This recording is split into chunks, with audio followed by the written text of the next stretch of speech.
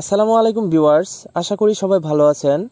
ইতিমধ্যেই হয়তো লক্ষ্য করতেছেন ভিডিও স্ক্রিনে এগুলো বুট শিং মাছ, এগুলো থেকে ব্রিডিং করা হবে। এই ব্রিডিং করানোর পর এই রেনুগুলো কালেকশন করা হয়েছে।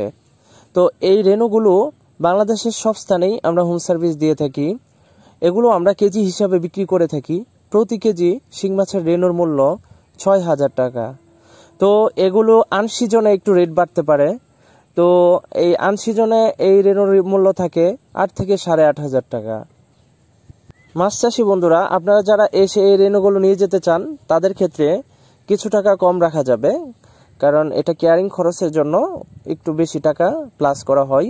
তো আপনারা যারা আয়সা নিতে চান, সেই ক্ষেত্রে আমাদের লোকেশনে এসে নিতে পারবেন। তো আমাদের লোকেশন ধলাত্রি সালমান সিং। আমাদের হ্যাচারি থেকে এসে নিয়ে যেতে পারবেন। এই রেনুগুলো নেওয়ার জন্য আমাদেরকে তিন থেকে চার দিন আগে অর্ডার করতে হবে। শিং মাছের রেনু চাষ করার জন্য প্রথমে আপনাকে নার্সারি পুকুর সিলেকশন করতে হবে। নার্সারি পুকুর বলতে যেখানে গাছের পাতা পড়বে না, রোদ্রের আলো পড়বে এমন স্থানে পুকুর নির্বাচন করতে হবে।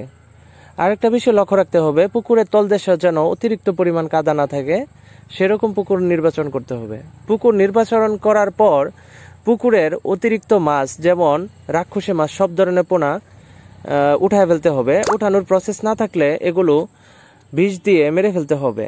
তারপর পুকুর শুকিয়ে প্রতি শতকে এক কেজি হারে চুন ছিটিয়ে দিতে হবে। চুন দেওয়ার পর প্রতি শতকে একশো গ্রাম ইউরিয়া এবং দেড়শো গ্রাম টিএসপি সার ছিটিয়ে দিতে হবে। এগুলো দেওয়ার পর পানি দিবেন তিন থেকে সাড়ে তিন ফিট।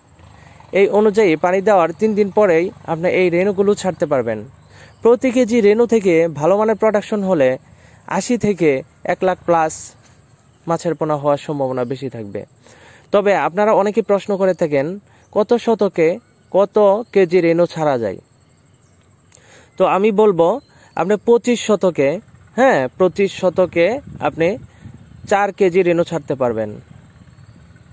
অর্থাৎ ছয় থেকে সাত শতকে এক কেজি রেনো ছাড়া যায়। মাছ চাষি বন্ধুরা ভিডিও কিনে থাকা নাম্বার নিয়ে আমাদের সাথে যোগাযোগ করতে পারেন।